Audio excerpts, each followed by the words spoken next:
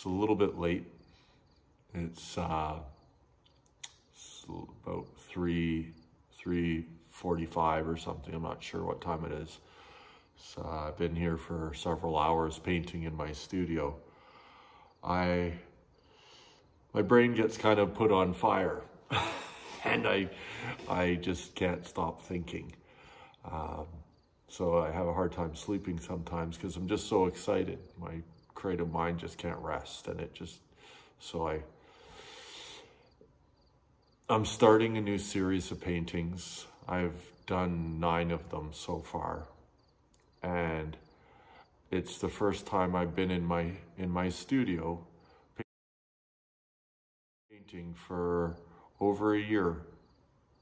Um, those of you that don't know, I uh, to bring you up to speed, I had two forms of cancer. I had uh, uh, melanoma, and that was removed. I have like 21 stitches and 11 stitches. Uh, then I have CLL, which is chronic lymphocytic leukemia, uh, and it's in remission now.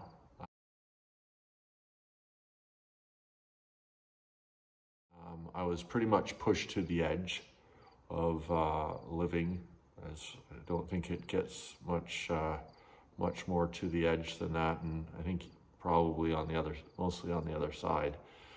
Uh, I was four months chemotherapy, then a state of neutropenia, then pneumonia, and then COVID. I was in and out of ICU nine days, then I had a break for three weeks, back in for six six days, then a break for five weeks. And it, my infection just kept getting worse and worse. Then I was put in a coma and was in a coma for 52 days on life support with a trach uh, for 62 days and in the hospital for 99 days. I had to relearn how to walk, eat, uh,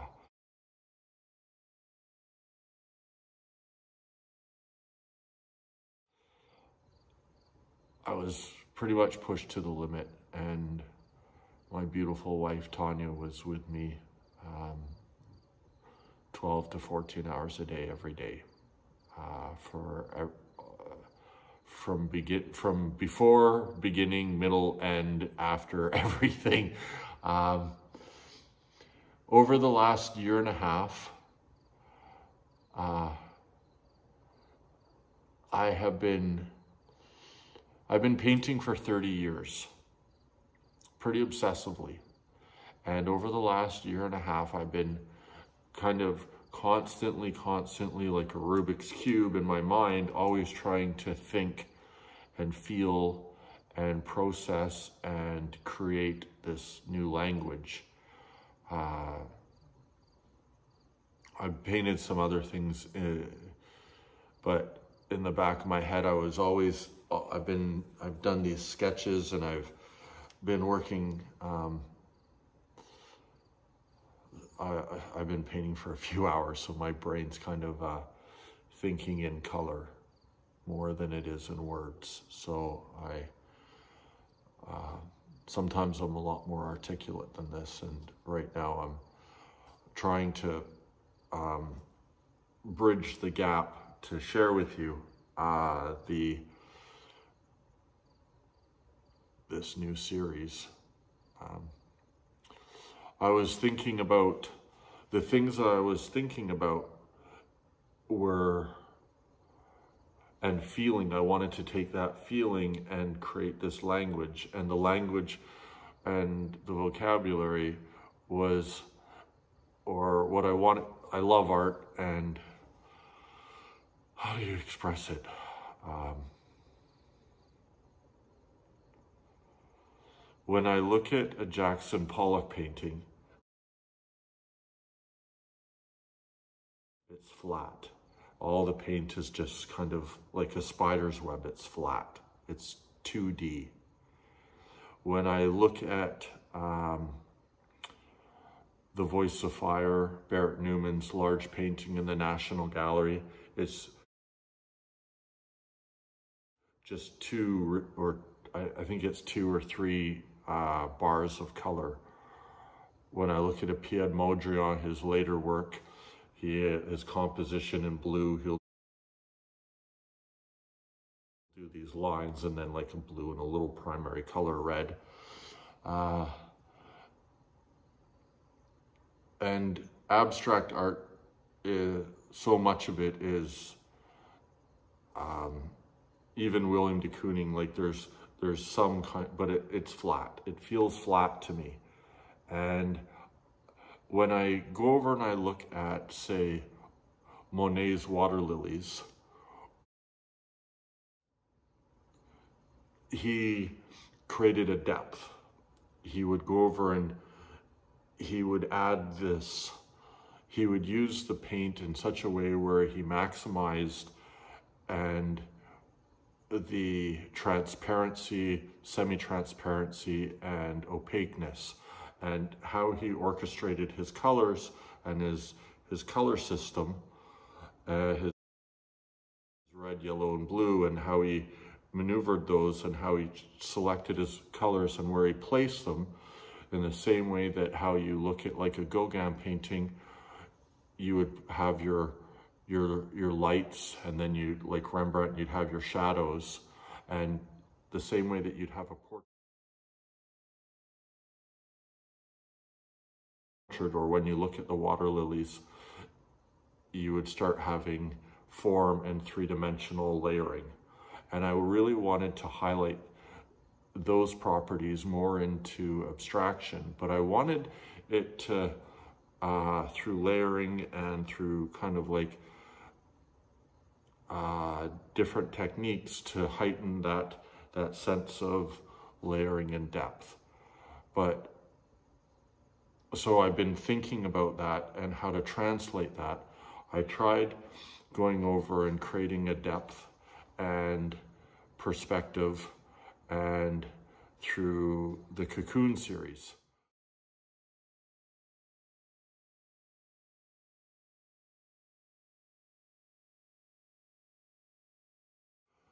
And where I really make it so you feel like you're entering into the painting and the painting is kind of opening up and where it has that kind of that full kind of um,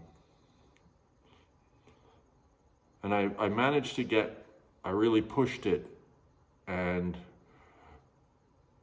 I felt really successful in that. Um, that was a huge that that took a long time to really um, create all the little subtleties and all the depth that I wanted to do technically. You know, as a painter, I really want to. Um,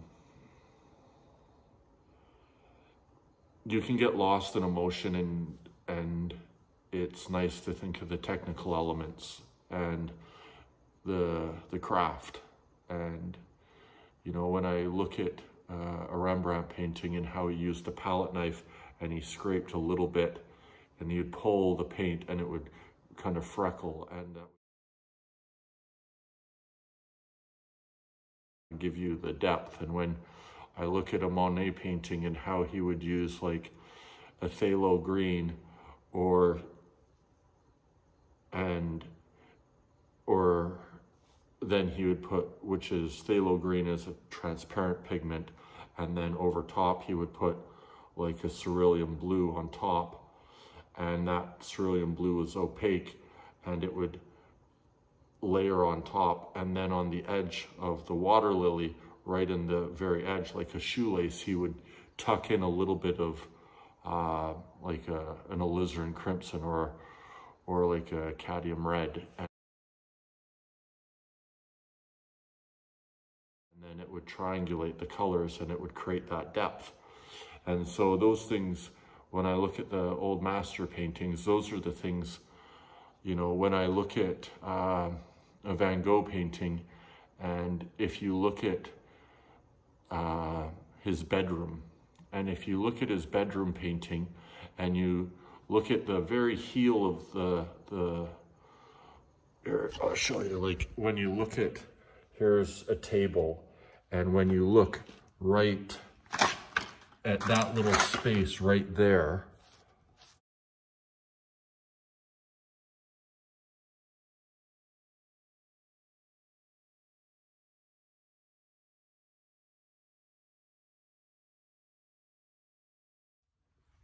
when you look at the, you look at his, uh, you look at his, or even his chair painting, right at that edge, he'll put, he'll sneak in like an emerald green, or he'll sneak in a little bit of, uh, a little bit of red there. Uh, same thing with Soutine's work. When he would paint his, uh, all of his work, he always, he'd always put like a little bit right on the edge of the ear and it would, it would offset and that space between the background and the foreground, he would just, they just put a little touch right there and it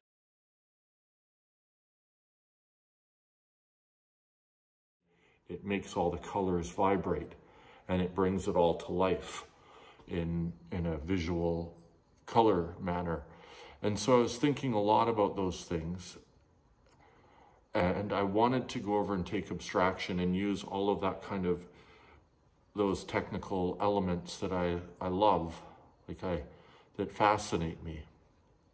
Because, so when I was wanting to do this new series, which I'm not sure of the title. Um, I'm starting to come up with it. I, I'm thinking in color and I'm thinking not in words so much at the moment or in poetry. Though the paintings have their own sense of poetry, they are um,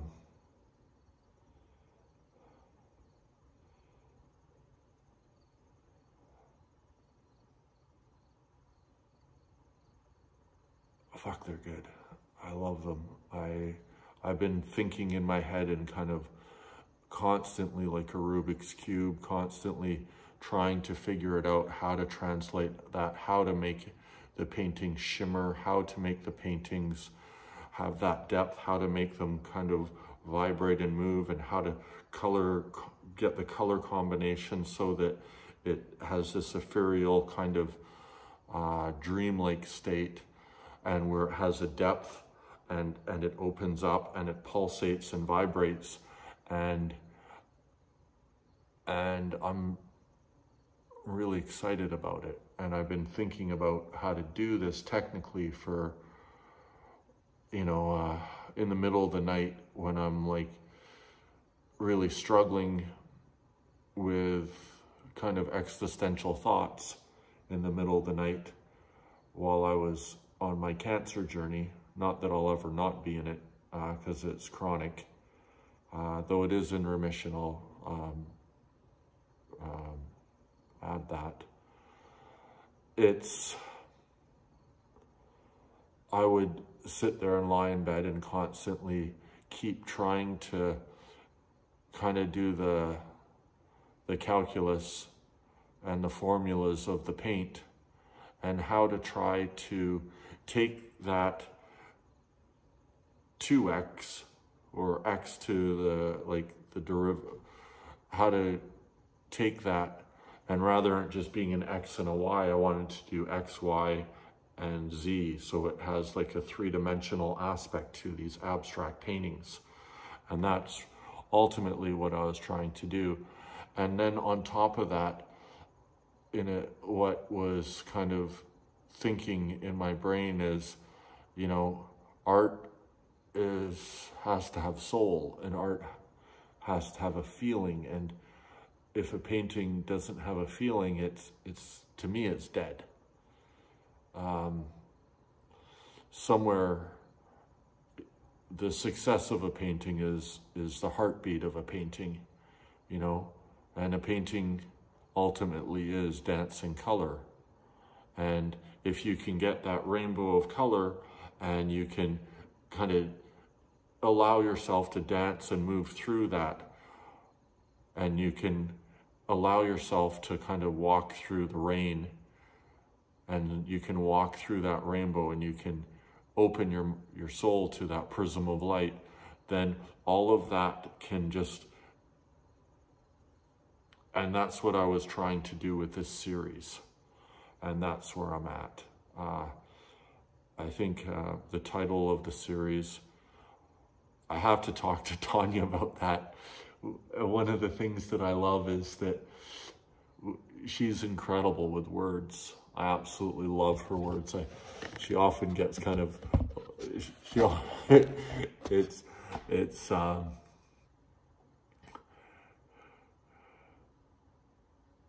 I love her for her words. For me, she's just an incredible writer and I love her thoughts. And, you know, every woman wants to be, or I, I don't know, I'm fuck, I'm probably putting my foot in my mouth again, but she, she's a sexy, beautiful, I call her sexy T for sexy Tanya. Um, and, but I've got to, we'll sit down and we'll sit in my studio and we'll talk and we'll talk about words and try to figure it out. I know that uh, Jenny and Tom Magpie, they do that as well. And uh, I gotta say her, it, it, you gotta follow that tag team because they really, uh, they're, her titles are, are hysterical and they're, they're make them like kind of contemporary and, and a social kind of uh, political um, commentary on current events and and and Tom Magpie. I've bought several of his works and he's phenomenal. And um, and I I look at them as a, as a couple and they inspire me. And I um,